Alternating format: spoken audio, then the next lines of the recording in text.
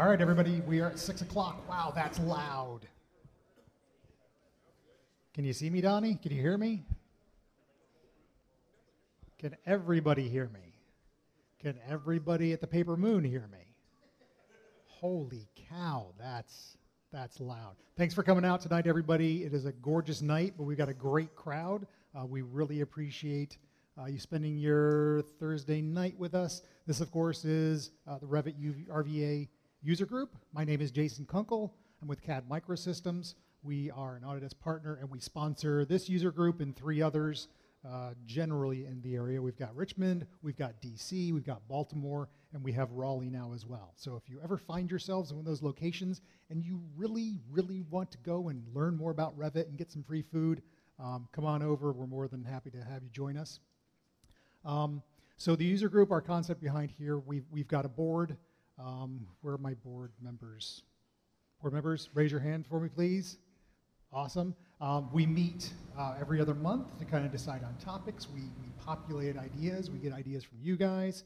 There'll be a survey after the meeting, so if you have any thoughts on topics you would like to see or any improvements at all that you would like to see, please send those our way because uh, that's where we get our, our topics for the next presentations from, from, from you all. Um, building community, educating, that's, that's kind of the whole plan here. For tonight, um, what we've got kicking off with is me. You have to listen to my nasally voice for about 15 minutes. Me doing kind of a crash course on Revit 2020, which launched yesterday, even though some of us are still having trouble downloading it at this point. Um, after that, we've got Collin and Langdon from DPR, who are going to be doing kind of a demonstration and a talk on using BIM 360 for design and construction. And then we're going to follow that up with just kind of a panel conversation on BIM 360 and, and how it gets used there as well. Tacking onto that, before we kind of get rolling, you see the camera, you see the microphone. Um, we are working our way through a bit of a science experiment. We're trying to record these. We're also trying to live stream our user groups. So I don't know if you guys were aware of this, um, but we're trying to get a little momentum and see the value and understand the benefits and how those could work. Uh, if you are willing to do so, if you would, would like to help out, feel free to navigate over to YouTube right now, um, search for CADD Microsystems. That's our big, uh, our big blue and orange there, and just go ahead and click on that live link, just so we can kind of pump up those numbers a little bit. It's a little, uh, you know, a little immodest request, but uh, it would certainly help out, and we can kind of test and see how this thing goes. So, um, with that, I think that covers all the upfront stuff. We're going to go ahead and get rolling now. Um, like I mentioned, our first 15 minutes or so of the presentation, it's going to be on Revit 2020. Um, so I'm just going to go ahead and get things kicked off. And how did how did that get in there? I don't I don't understand this at all. This is really it's really weird. Um, so I'm trying something new with this presentation. I've got 15 minutes, of about 30 odd slides in here. I have set my slides on a timer. So I've got a lot of topics I want to get through. We're going to try to get through them. I'd like to kick things off with uh, first getting everybody up to date on the Revit 2019.x releases. So if the last time you looked at new features was about a year ago, you've missed two releases since then. First thing I want to talk about in 2019.x, um, the home cloud browser. So they changed the homepage. So as soon as you get into Revit, it used to be that gray stripe, gray stripe, new look, easier to use, um, doesn't mess up when you try to open a central model. It'll automatically create a local file for you. Uh, you can automatically and quickly get into your BIM 360 projects right from the home page and just a lot more streamlined, easier to use, and a little easier to understand what you're trying to get to. Site collaboration with Civil 3D. So your Civil 3D users, um, we got one in the back, can publish their model up to your BIM 360 project, and then you can link that Civil 3D publish file in, and it will generate and be a Revit topo for you at that point. Um, they added a couple features throughout the year. One was to host elements, spot elevations, building pads added as well. Another addition is IFC linking. So the Autodesk Desktop connector has been improving and improving and improving over the years. Uh, if you didn't know, you can now bring in and access things like your image files and link in DWGs and link your shared parameters files from your BIM 360 project. Recently, they, they also include the ability to link in IFC files directly from that BIM 360 cloud location as well. kind of a little one, but something we've been looking at for a long time. You can use your paint bucket on top of a wall of the material. If it's a model pattern, you can do everything you can do with model patterns like normal. Uh, select it, rotate it, align it, just a little more visual fidelity when it comes to your modeling, um, kind of seals up the, the, top of the walls there. And, and, again, it's one of those things that, that kind of is kind of is the icing on the cake there. Um, import double fill patterns. If you have to import your DWGs, we do not recommend you import your DWGs, but if you do import your DWGs, Revit will now support double um, patterns. So 2018 or 2019, Revit inherently allowed for background and foreground patterns, and that has been expanded into any sort of imported and exploded DWG file. Perspective views uh, have got some tweaks. So they went to the tabular layout inside of 2019. You were able to toggle between ISO and perspective in 2019. Throughout the year, they kind of refined that. They added um, orient to view with section boxes. They fixed the zooming and the panning. Whoa, that was a pop. The, the uh, zooming and the panning. So just a lot of little nudges throughout the year to make kind of working in 3D and designing in 3D a little more intuitive, a little easier, and just make it part of your design process. Section view aligning. Um, before when we needed to get our section cuts kind of lined up with an angle there, you kind of had to eyeball it, right? You kind of had to get it really close and, and feel how it is. There is now, you can use your align tool to align your section cut line with an existing model line inside your model. There's also snapping right to the line or, or snapping with the line. Um, just kind of gets that cut where you want that cut to go cloud models inside of Revit. So we've had design collaboration for years and years and years, and that allows you to take a work shared model, save it up to BIM 360, and allow multiple people to work on it. With this addition inside, I think it was 2019.2, you can take a non-work shared model and also publish that up to BIM 360. Makes in this format, it's kind of a streamable format, so it's a little faster and a little easier to use. So if you don't need a dozen people working on your model and you want to leverage all the benefits of a BIM 360 project, you can now use that. I like this one.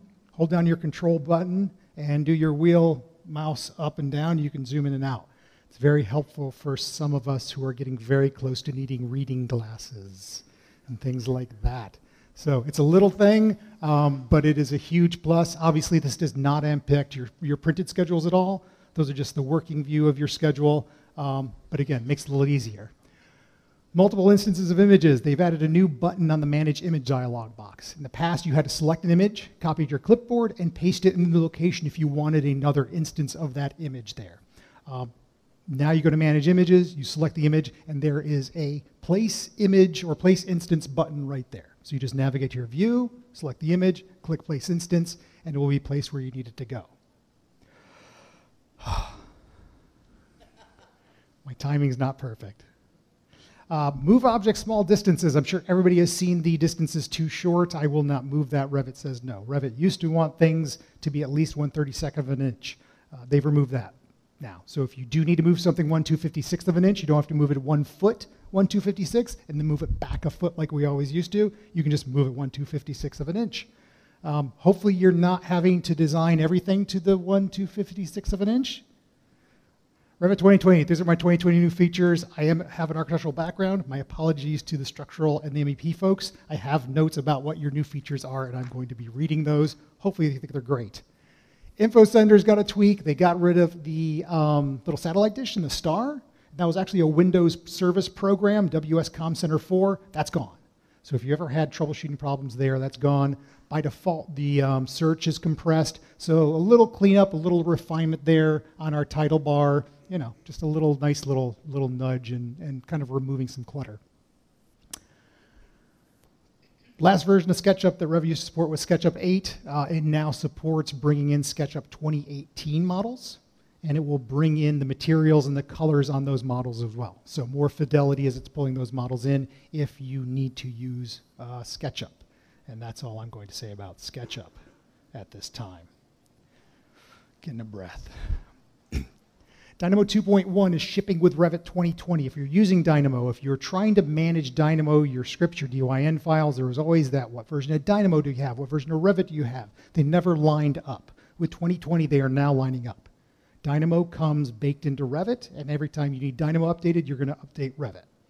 So it's not really Dynamo to whatever anymore, it's Dynamo 2020. One of the nice things though, it's more quarantined, so you don't have to worry about this Dynamo fighting with other Dynamos. Copy paste legends across sheets. So legends are one of those views that can go on multiple sheets. And in the past, we always had to um, click a sheet and drag, or click a sheet and drag that legend view on. Now you can select the legend, you get it where you want, copy to clipboard, you go to another sheet, and you paste from clipboard in the same location. It's going to be right there where you want it. Uh, obviously, this just kind of helps getting our sheets lined up right, which has always been a little bit of a challenge inside of Revit. Scope boxes are now a parameter you can list on your schedules. So if you have a view list, you can add scope box there. You can change the scope box. You can modify it, and it's just way easier, obviously, to get a whole bunch of views at once. I'm you're, you're on scope box A, you're on scope box B, and then of course it will constrain your crop region down to that scope box and do everything that a scope box is going to do inside of that list. One of the architectural features that got added, we now can draw walls with the ellipse tool or the partial ellipse tool. It works kind of like you'd expect it to work. Looks like works like arcs, um, joins, cleanup, doors, windows, everything plugs in the way you'd expect it to. Uh, it's just one of those added little plugs that's in there. Oh, this is my first. The next one's the structural guys. All right. Got to get ready. I got my notes. Structural folks have to tell me if it's any good or not. Okay, shape-driven rebars now snap more intuitively to the concrete cover when you copy or move them. Shape-driven rebar segments are now automatically constrained only to the concrete host faces that are in range of each segment. Standard bars now snap to, snap to stirrups automatically only if the standard bar passes through the stirrups. Is that anything? Is that, is, is that, I mean, there's a lot of pictures of rebar in here. I'm just going to warn you. They, they love rebar during this, this release. Uh, hey, look, it's more rebar. Um, Multi-rebar annotations can be used to dimension free-form rebar sets with planar and parallel bars at any view that is perpendicular to all the bar planes of the bars in set.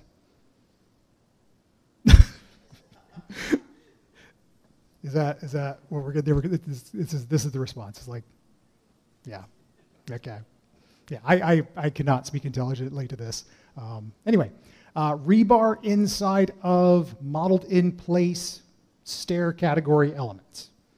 So this is not your regular stair tool. This is model in place elements that are in the stair category. And now you can um, create uh, rebar and put your stairs. And, and if you've got to build your stairs from scratch like this, which every so often you just have to, sometimes the stair tool is not going to do it, now you can get some rebar in there.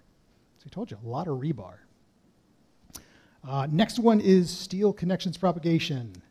And there is a right click now on the steel connections and for propagate connections. So instead of, I guess, manually applying the connection uh, everywhere, you kind of right click on it, you say propagate, and it will push itself out to connections that match up with the one that you've already selected. So it seems like it might be a nice little time saver. Yeah, save a couple seconds there. Sorry. Structural stuff is not my forte, obviously.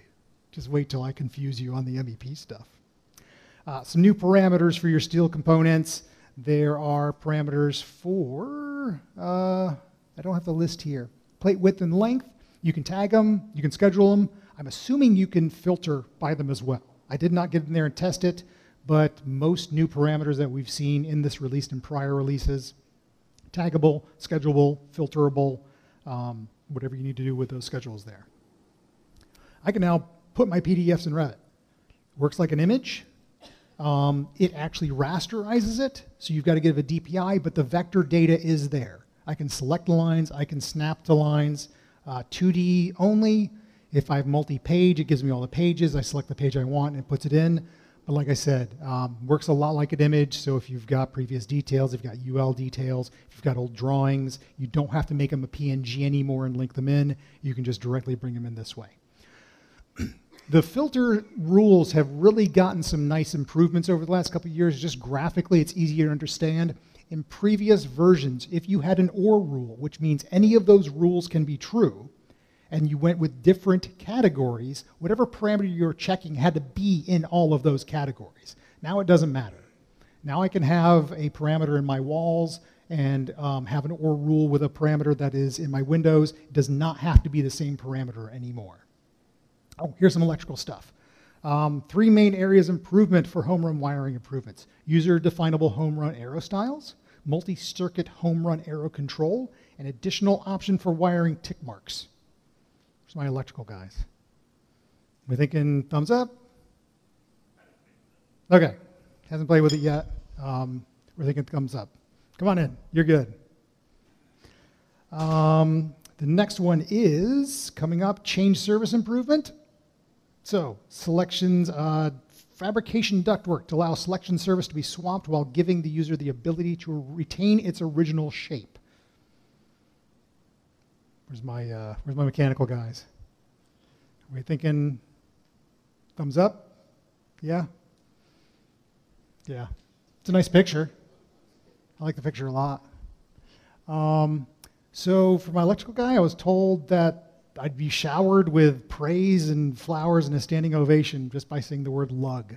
So, okay, this, my consultants tell me this is huge. Tell me like this has been waited for for a long time, and uh, this is a game changer. And so this is a, this is a pretty exciting one. Um, yeah, not limited in your panel schedules really to just the 41 or whatever. You can keep expanding and doing what you need to do for your lug connections. Some new parameters. This is our next to last one. Offset is renamed offset from host. Elevation from level has been added or it's been renamed from elevation. I would strongly recommend reading the help file. There's different rules about when that is directly updatable. There's different rules about what categories this goes with. There's different rules about what type of host it is and where you're hosting it. If I've got the same type of element, it's hosted vertical versus horizontal, I get different control there. But this is now a built-in parameter that I can filter, I can tag, and I can schedule. So it's just to make things consistent. Last one, path of travel. I can now click on point A and point B, and Revit is going to draw the shortest line between those two points for me. That is taggable, that is schedulable. I can change what it looks like. It is filterable. Um, you can ignore certain categories, but it is all model elements that it's looking for. So if you just draft stuff, it's just going to walk right over top of it. Currently, it is only single level, so it's not from second floor down to first floor, so we've got some work to do on there, uh, but it's still a pretty exciting thing. That's our list. That's my 15 minutes. If you have any questions, please feel free to come find me after the user group. Hopefully you're excited. We like some of these features and uh, we're looking forward to, to implementing.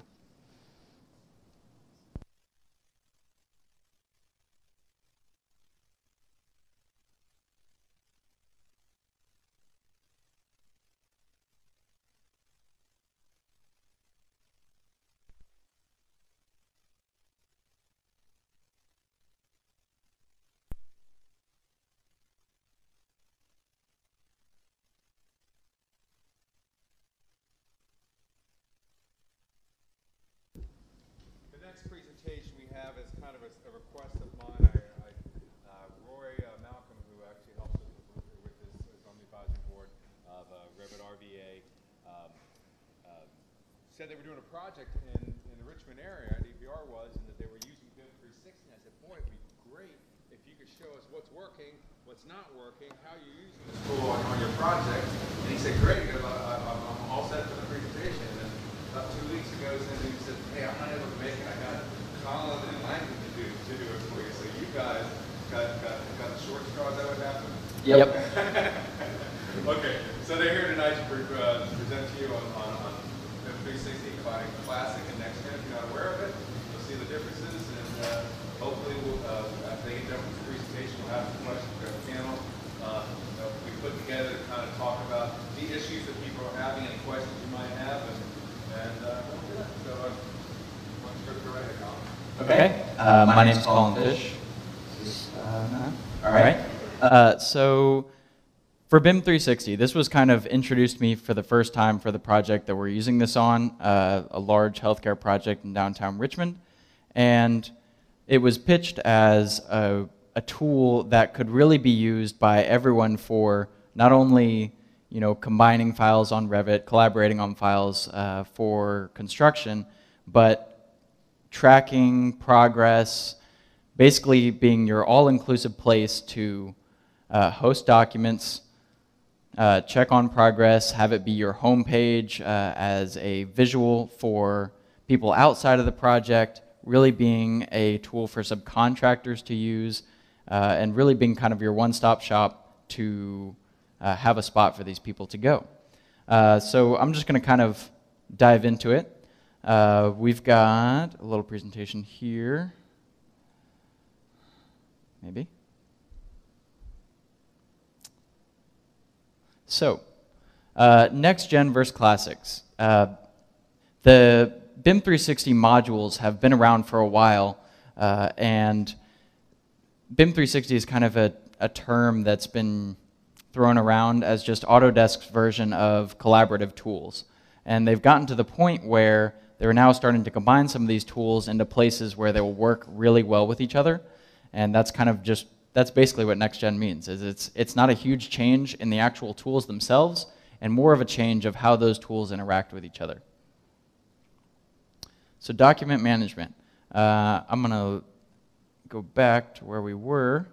So document management here is broken up into two pieces. We've got plans and we've got uh, documents. So plans is a great tool for using drawings. The issue with plans, or some of the issues we're running into with plans, is that it doesn't necessarily handle specifications very well, because it takes those drawing issuances and immediately dumps them out into, so if I get one drawing file that has 30 sheets, it's going to split all those up into individual sheets. So if I get a drawing package that has an 800 page spec book attached to it, it's going to split all 800 of those sheets into individual pieces. Uh, so that's one of the issues we were running into with this.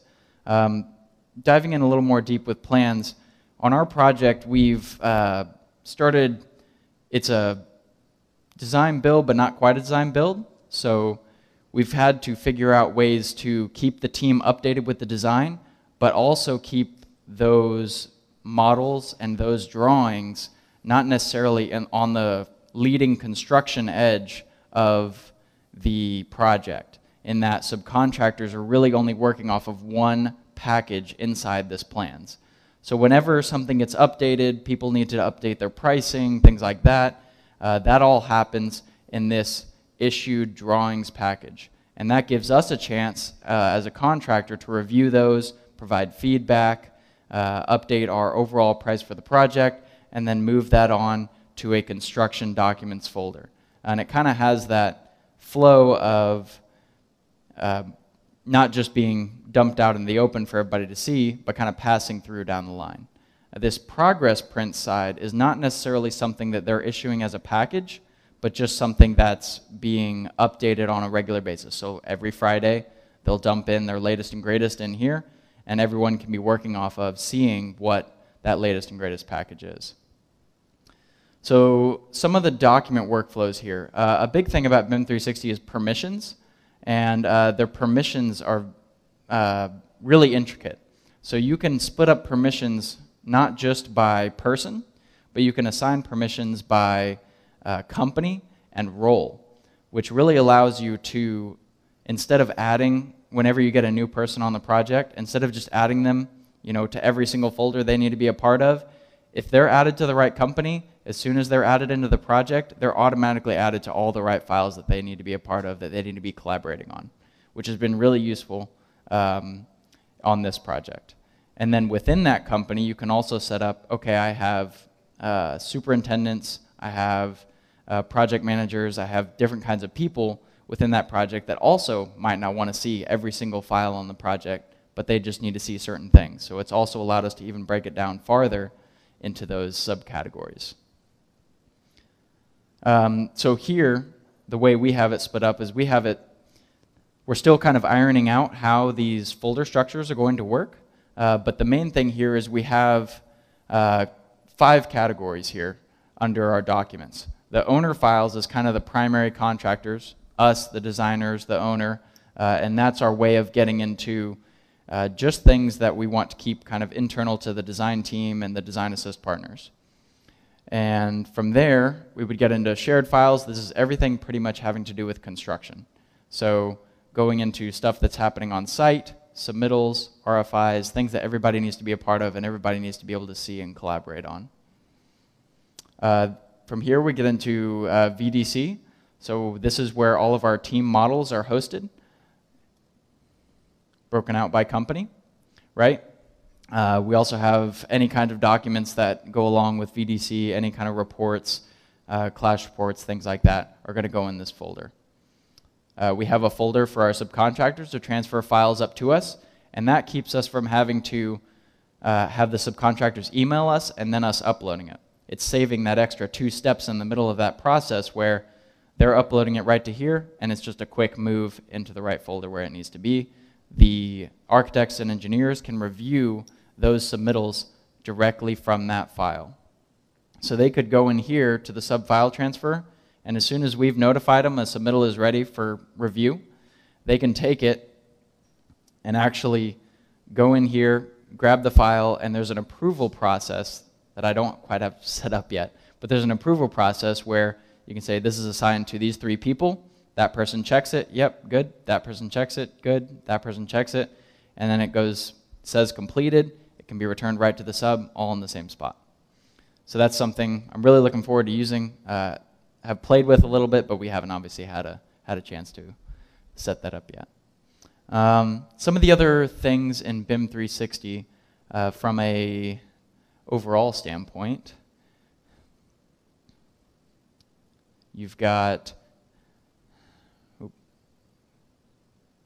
project homepage that will load, and this will give you kind of uh, a landing page for other people on the project, maybe people that aren't necessarily involved in the project every day, but want to get a snapshot of where are we trending as far as submittals, RFIs. You can pull in information here from other uh, resources. So we use uh, Power BI a lot with our programs, and you can pull in any module from Power BI and have it show up here, show a graph, show a scale, um, anything like that. We'll also end up having a lot of camera views of the project shown on this page.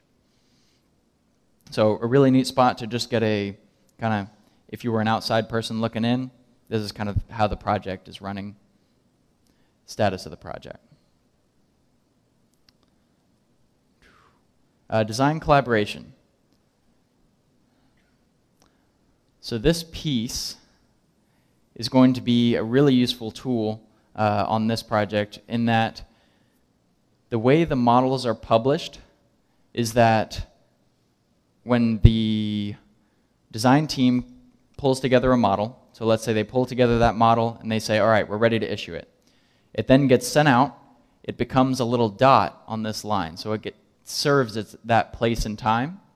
And then subcontractors, uh, contractors alike have to go in, grab that file, and it moves to a consumed folder, acknowledging the fact that they've seen the file, they're adding it into their model, they're incorporating those changes, whatever was made. Uh, and this will give a nice timeline across uh, here you can have multiple companies set up on this side to set up for that, uh, that collaboration portion. So those are really the big parts. Uh, I'm not going to go into field management too much, uh, but those are the big parts that we're going to be using on this project as far as uh, BIM 360 from a document management and project management standpoint.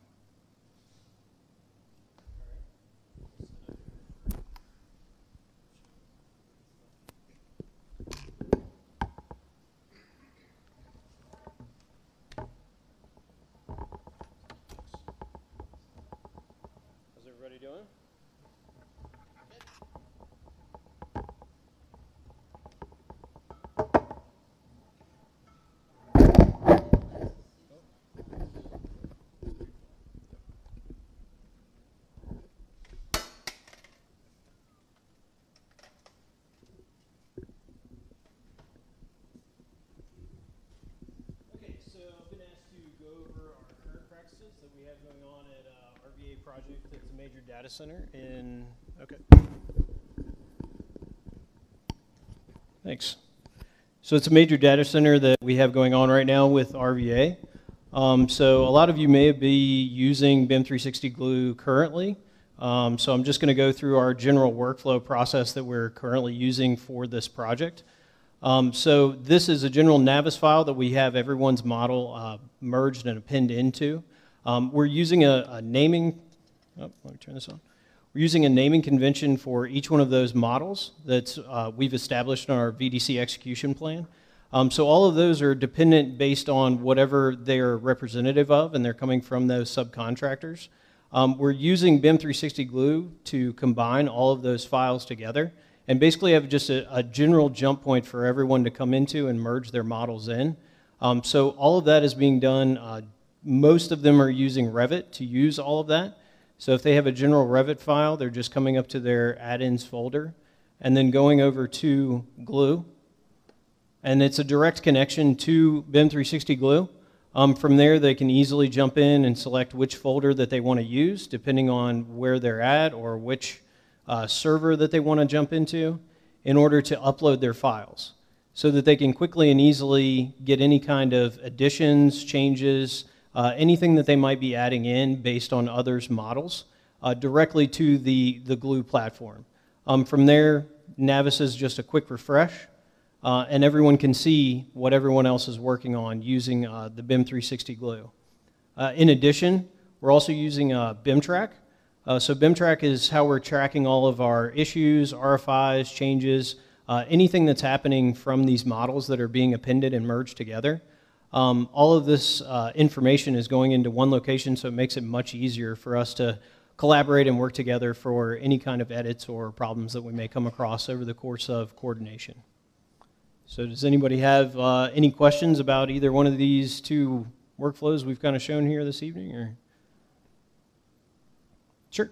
So, you, so you're using Navisworks and Glue, not the Glue or not one or the other? No, we're using uh, Glue just to house the, the different models from all of our different subcontractors.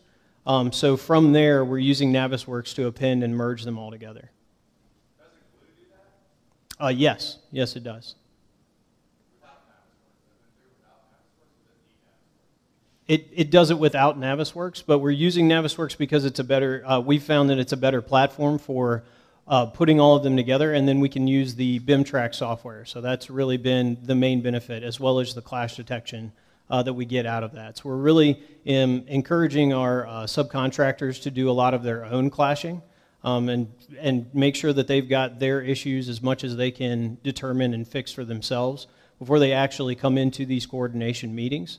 Um, so that hopefully BIMTrack is really just being utilized for issues and problems that, uh, that they can't solve themselves.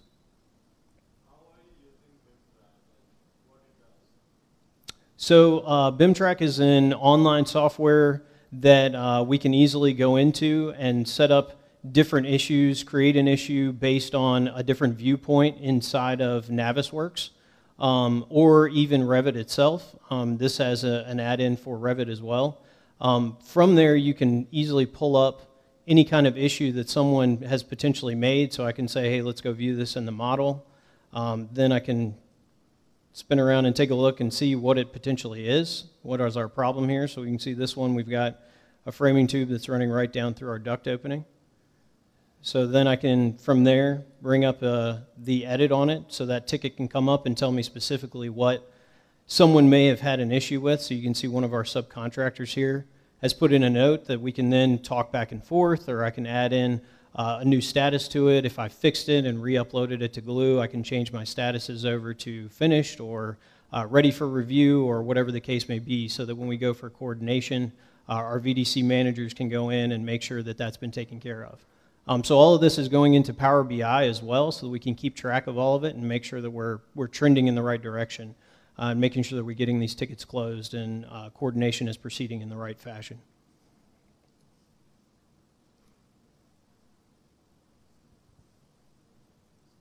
Is there anything else? No. Sure.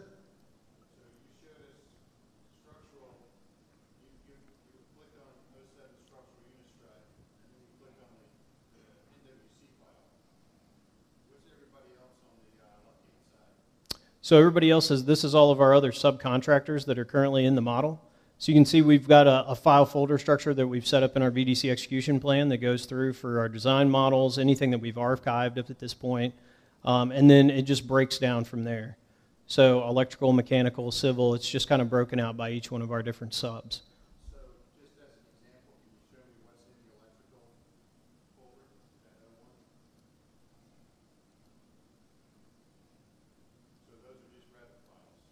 So, DWFs, uh, NWCs. We encourage NWCs for them to post up. It's obviously a lot easier for us to push into Navisworks from there.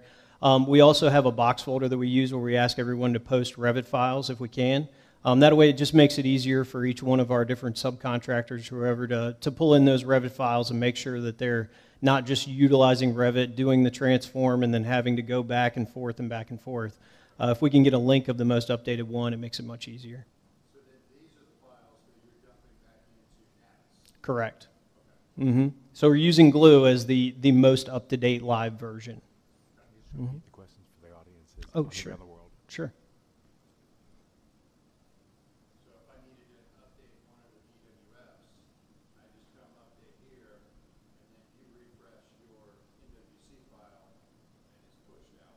So if you need to update a DWF, so if you were to update any of these files, um, Navisworks, when we have it open, will tell you that a newer version of the model is available and that you need to go ahead and refresh. It'll give you a little, uh, you know, a little exclamation down in the bottom corner. So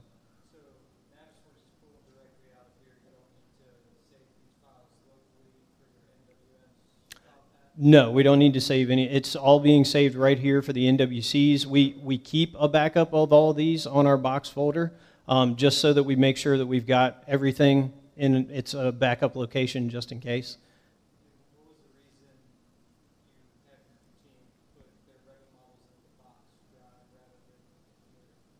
So the reason we have them put them in the uh, box folder rather than here is so that we just have the NWCs and DWFs that we're going to be merging to Navisworks coming out of here. Uh, anything that's in the box folder is more for just our subcontractor teams uh, to use as their link. And uh, the majority of the time, what we found, depending on the uh, level of use from each one of the subcontractors, if you have different groups that are using C4R, you have others that are just doing their own centralized server locations for their centrals. Uh, they're either linking directly to those box folders and pulling those in, uh, or they're copying, copying them out to their own C4R and then uploading them for their team's use. Uh, so as soon as that does happen and that they see there's a newer model version on Glue, it's a good indication that potentially there should be an updated version of the Revit model. So that would be where they would go then look for that, and that way they can get that update. Um, using that BIMTrack, you know, those are some of the issues that potentially could go out that would be immediate to go to those subcontractors to let them know, hey, we need an update or there is an update that's going on. So BIMTrack has been a really great tool for us. I mean, just to be able to talk to all of our subcontractors and be able to put those questions out there and get those answered quickly. Um, we've even started using it for a lot of our RFIs as well, so that our design team has something that they can quickly and easily go to uh, and look over and then start tracking the whole process through.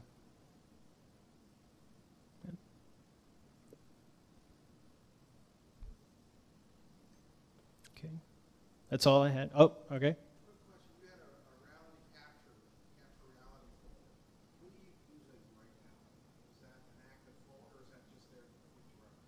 Uh, yes, so we are uh, actively scanning right now out on site. So we do a couple of different scans over the life cycle of the um, of the install. So obviously we put out our control points, and then we go back in for our first pass to do a scan of each individual. Depending on, we're really trying to do it at, at precise, you know, steps in the process.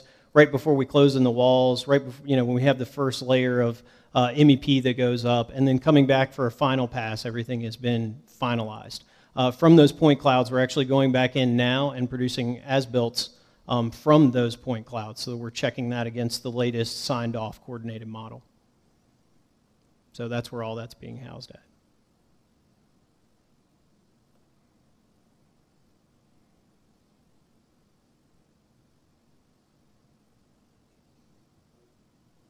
Quiet group. Okay. Do you have anything you wanted to add? I can. Okay. That's, yeah, that's all I had. Yeah, pretty straightforward. have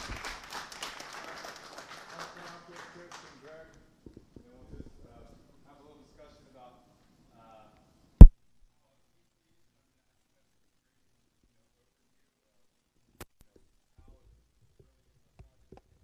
about earlier, Collin, was the setup that we're gonna be, but you're not really using NextGen right now.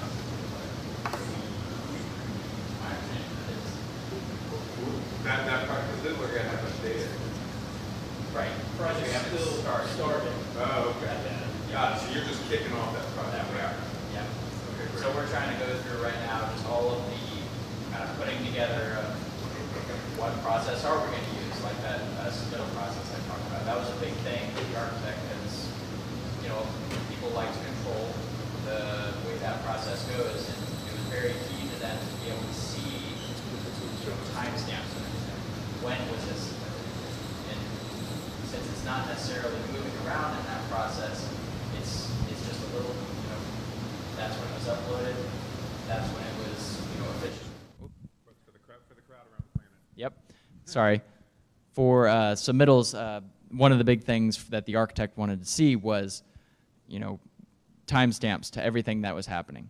And so a big thing for them was just being able to see when was the file uploaded, when was it officially submitted to the architect, when was it reviewed by each individual reviewer, what were the comments that were posted on that RFI, or sorry, submittal, and kind of how that was being tracked through the process because most people are used to using their own in-house software. A lot of companies use their own in-house software, and it was very uncomfortable to propose a lot of the things that we were proposing because it was getting out of that comfort zone of having everything under your control, under your software, uh, those sorts of things.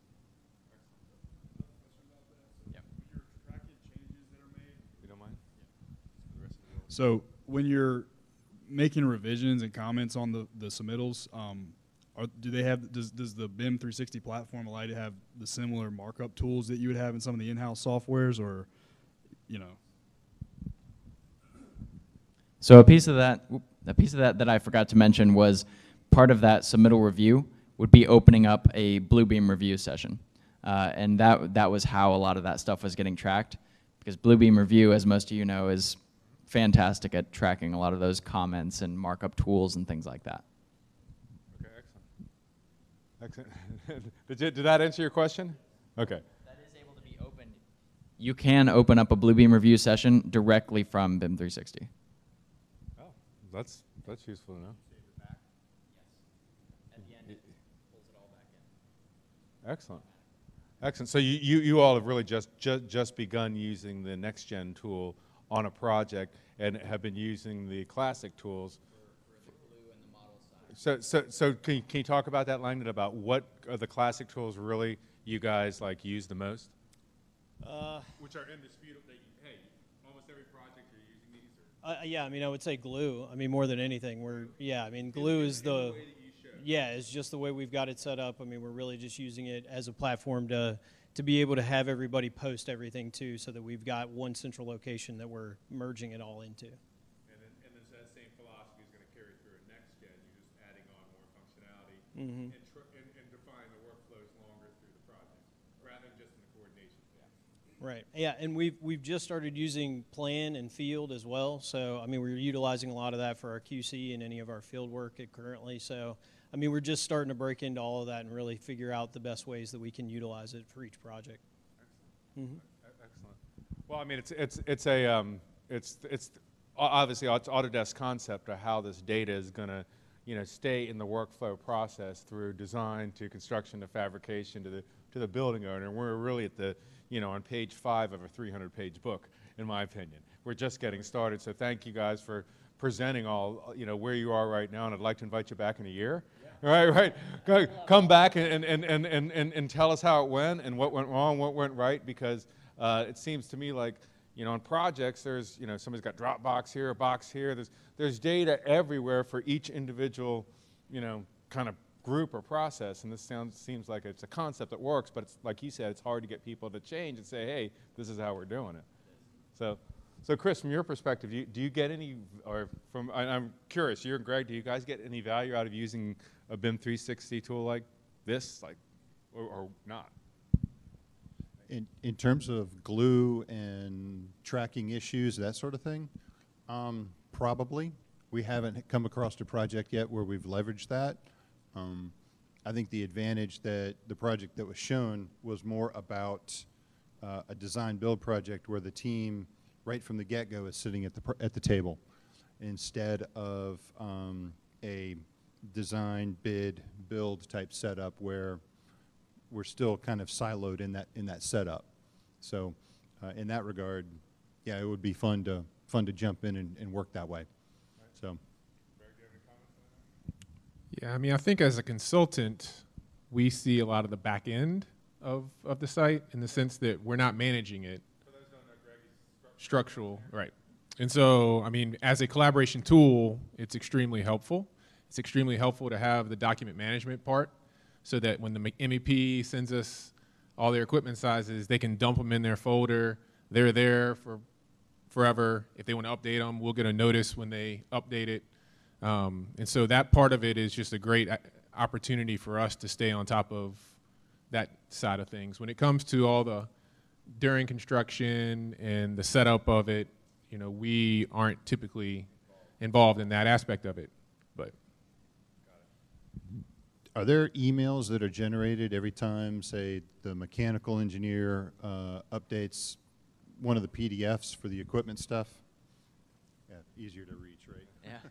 Uh, they can be. So you can set up notifications for any folder or any individual file, like uh, we were saying a second ago. Uh, so you can have notifications whenever anything is updated. And it will actually keep a version of every file. Uh, so if you downloaded a file, when you saved it back, it would say version 2 right next to it. So it, it's keeping a version of every time you're changing those files up and down uh, from BIM 360 site. So, so if there is a downside to using a tool like this, what is it? What is it that really causes the biggest problems, that causes the biggest consternation? That, you know. So th- this is, yeah, uh, fair enough. So as most of you know, in, in File Explorer windows, you're used to being able to click and drag, moving things around relatively quickly. Uh, we've learned that you can't do that in BIM 360 in the document management. That is not a tool that they have available right now. You can't also upload whole folders at once or download whole folders at once. So if I'm issued a drawing package that's in three different folders and each folder has, you know, 20 subfolders and then those subfolders have a bunch of files in them, I have to individually create all of those folders and individually upload all of those files to those places. So that is a huge downside and we've communicated that to Autodesk and supposedly they've told us worst case scenario it's fixed by Q3 of this year. So it's not it's a downside right now. I don't see it as a long-term uh, hindrance to project management. Uh, but that's one of the biggest things. Greg, you're waving both hands around the air. Well, again, this comes more from in the weeds. I mean, I think the presentation was more on the platform of BIM 360 as opposed to where we're coming from, typically just from this old C4R collaboration tool that then became BIM 360 and now it's going on to next gen. And so for us, what happens, and again, this is just data management, um, but when you do a, a, a model exchange every week or every two weeks, just via Dropbox or a new form or whatever, you, you sometimes you get a little bit of a, a feel for what's been changed in the model. But now when the model is constantly linked in and you go in to start supporting X or framing around something and the architect is playing around with the model and they're removing a wall that you're using as support, so then you go change and put new supports in and then the wall shows back up next day. So it, you know, Revit has kind of changed that from the get-go in the sense that, oh, well, it's in the model. You should be able to find it. You should be able to design around it instead of the, the old school updates on Fridays with a quick email saying we moved this, we changed this, and now it's even gotten to the point where, you know, if you refresh the architectural link and they're moving a wall to see what it looks like, you know, and you happen to catch them at that time and there's no communication, it causes a, a lot of spinning around. Question. Got a question? I think there is a feature where they can control it when they want to publish it. No? I'm saying I think there is a feature where they can control when they want to publish the changes. They don't exactly have to like it's not always live. It's not always like you always just refresh and you will see what I'm doing. No. So when I want to publish then only you can see it. Yeah, so if somebody, if somebody wants to publish change, they can say publish the change rather than seeing as, as, you're- as you're working along. But some people don't follow methodologies and publish all the time, I guess. Is a, yeah, you can link it in live.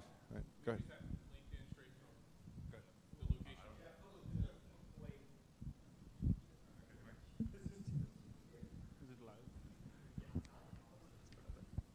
Uh, it's kind of my my question is a piggyback on all that discussion right now. How is it really working? Um, I'm an old C4R, you know, work sharing live between offices, working great. Moving to the new next gen design, you, what I've experienced, you do have to publish. If those using design collaboration see live linking could, but there's that whole deeper workflow of publishing to consume to then use. I mean, what what's I'm looking for what's the best workflow right now, because to one eliminate confusion, but also be informed quickly. Go ahead. You can start talking. I, I, I think it was mentioned earlier, the, the process is really from either a consultant or from uh, an architect's point of view, you know, we're working in the model. That model is on the cloud. Um, I've got my team moving walls around, getting doors and all that stuff fixed. And maybe the uh, execution plan says you've got to publish that model on Fridays. So we publish it. And what you, what, that was what they were referring to. We've got a, a tick mark on that chart coming across. So where it said BR plus A, here's where they're posting their models.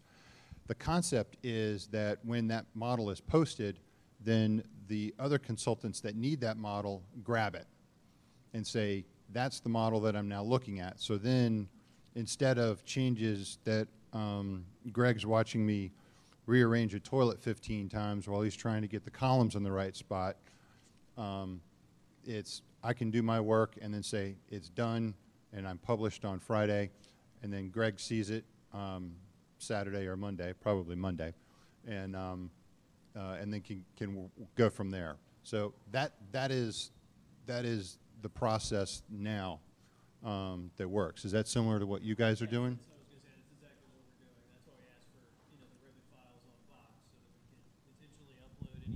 versions. You know, when we see someone's published something, so we can get it in there, whether it be through the Navis viewing it um, on the appended file that we've posted, or through a Revit background that we're then linking into our model, so we can see that update. But it's definitely on a publish, you know, status. It's not a live. Answer your question, right?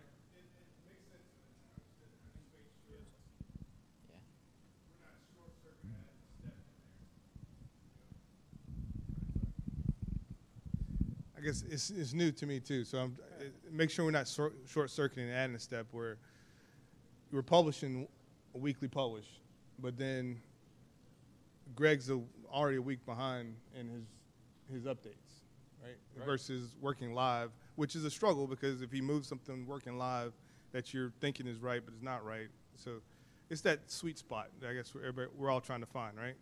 Um, so hearing that publishing weekly is working, I guess that's where we start. But should you be fast earlier, like daily, nightly, every three days, weekly?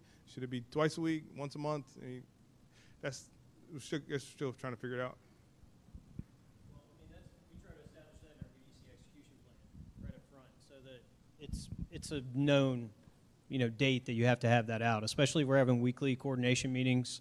Uh, if you've got updates that you need to have in there, uh, it, that you want everybody else to see, I mean, you're gonna wanna have that published in there before that weekly meeting. Um, so you can get those tickets updated, so you can make sure that you're not the one at the top of the board that's got the, the most open tickets. So, I mean, it's definitely a, a driver for the subs. I mean, they see that their name is, you know, on the top of that list with the most open tickets, and it's a good way to, hey, you, you know, we need you involved here. We need you to get into this coordination effort so that we're making sure the latest and greatest is published. So, I mean, if the rest of us aren't seeing it, so we can clear the tickets, then obviously, the, you know, nobody else can see it. All right. Any, anybody else have any, any more questions? I got, I got one last one that I'm curious about. If we don't have any more questions, uh, we, we're going to dismiss class early here tonight. But uh, my last question is, is in BIM 360, isn't there a tool where you can take two Revit files and compare them and see what's changed? Yeah, and, and I saw that tool and I was like, that's really cool, but does it get used? So, I mean, is there a use case for that, or am I, or am I missing? The intent is yes, to use that actually quite a bit, uh, especially for things like changes coming out on a rapid pace, uh, kind of like we were talking about, right? If we're designing every week and those changes are coming out every week, you know, we need to be able to know what's going on without having to go into and see every little detail. But what it'll do is it'll actually take those two models, compare them, give you a 3D view, and give you a red stuff that's deleted, green stuff that was added, and yellow stuff that was changed, moved, however. So it highlights that those specific objects in the model and actually highlights those things that changed or are altered or were deleted. Uh, yes. Yep. U- Use it in between the publishing and, and to, That's what we would use as contractors to, to help evaluate those. That's what soon to be make payments on too, right? Right. Who's done what work, right? so anyway, all right. Any- any more questions, got one back there. Go ahead. So is BIM 360 next gen supporting other formats of the model or not? Like not Revit, uh, not Revit. No, that's that, that's Navisworks territory right now, but but it'll, it'll it'll combine just about any, Navisworks will do about any, you know, file format that you have for geometry that you can think of. Uh, but I don't think BIM. I, and I was I was talking with Jason earlier. I was like, well, shouldn't they just combine Glue and Navisworks? I mean, and just get rid of the confusion, call it Navis Glue or something. I mean, they'll come up with some creative name. Trust me. Yeah. Okay. He was right. Navisworks. Navisworks is still the best tool for that. Glue uh, is is lacking that that real function of combining those models uh, in a very simple state. Uh, so Navisworks really has that beat. Sure. Please. Please. So I think the biggest difference that we're all seeing when we're looking at this is we're trying to understand how it works with our workflow and how it how it impacts us, right? Because we all have every office does submittal review process slightly differently, but the goal is still the same. It's given to us. We review it, and we make our comments and send it back. So part of the question in terms of evaluating it is how much of a tolerance are you willing to take to reevaluate all of those steps and processes. Um, I know some folks, um, even within our office or our organization, would say, absolutely not. I'm doing it this way and that's it. And there's other of us that are like, well, I know that process and I know how it works, but let's see if I can find something that makes it much, much better um, or potentially quicker. Um, the flip side is, and I can understand HKS's point of view about time stamping, is there's that contract aspect that says I've got certain things I have to meet at certain times, and if I don't know when I was supposed to do it and that sort of thing, making sure that those those check marks are in place that yes, I did take three weeks to review that submittal, and yes, you did give me that at the right time. Um, so those are a couple of other things that we have to think through as we're looking at all these really cool tools because what I'm seeing is that a lot of the stuff that we do uh, internally on a project is all getting pushed to the cloud, and because of that, now everybody else is starting to stick their finger in the pie at the same time, and we're either trying to swat them away or say, yeah, you can, yep, you're part of the pool now too, so I get that. So something to think about. All right, great. Anything else? Go on. Dwayne? It's your turn. who you designated to be the publisher of your models. Um, because anyone that has, well, I guess if some permissions, you can publish from Revit each one. Who's who's that gatekeeper?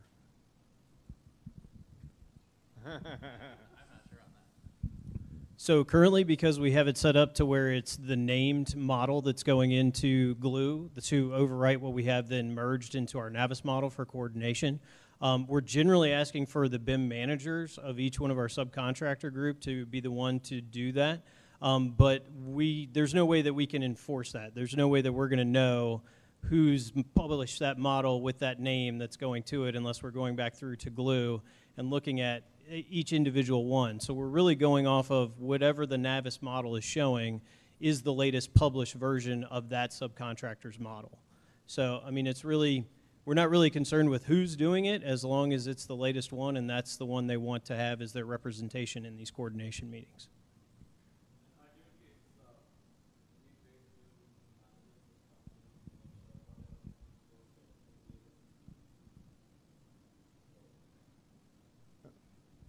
Uh, Another que- comment? Sure, please. Sorry. I mean, I can answer the, the design side, and that would say that, for the most part, the model that we're publishing is what they're seeing on the cloud version. So pretty much anybody on my team can make the decision that, yes, they're going to publish it. Um, usually they're checking with each other because our teams are probably only three or four people. Um, but I don't have one gatekeeper that says, all right, everything's done, I can now publish. Um, Greg and I were just talking on the side, what happens if he needs me to move a wall so he can finish his coordination of the work? I may skip the process of submitting it on Friday and give it to him on Thursday and one on Friday. So at least he's got stuff to, to do. So it's not that I have to do it every Friday. I can do it pretty much every day if I needed to, um, to, to keep that workflow moving. So at, at, at that point, it opens up more communication. All right. Any more questions? All right. Well, thank you. Me, I have one que- uh, ask before you, you, I, you, all leave tonight. Thank you for coming out, taking your time, spending with us tonight. Uh, we're really trying to get our YouTube videos relevant on YouTube.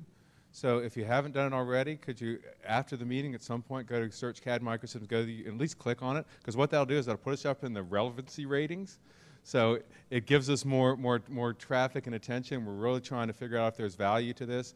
So if, if you would, uh, had a spare moment, said CADD Microsystems, tonight's video, and go, just click on it and even watch two seconds of it, that helps us. So, Dean? Kittens and puppies, right, right, right, right, right, right, right. Right, we're going to tell it kittens and puppies and Revit. all right, well, thank you all for coming out tonight. We'll see you in two months, and uh, have a good evening.